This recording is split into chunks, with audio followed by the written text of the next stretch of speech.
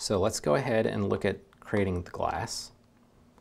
And very simply, the glass is just going to be a plane. Now you could do a separate object for each pane of glass for each mullion, but I'm going to be smart about my objects. And to minimize the amount of polys in my scene, I'm literally just going to create one line that's going to go the entire length of my object. And you don't have to get specific about exactly where it is. Again, this is just for visuals. And so it's important to be smart about how you're modeling your scenes.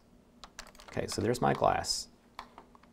Now to make it render correctly, first we're going to add an extrude. Again, let's go ahead and add that extrude by 8 feet and 8 inches. There's my glass. 8 feet, 8 inches. Okay, there's my glass. Now to have it render correctly, we need to add thickness to our glass. And typically I work with glass that's a quarter of an inch thick.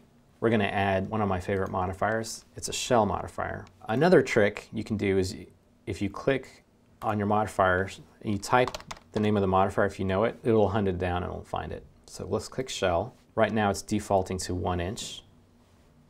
We're going to make it a quarter of an inch.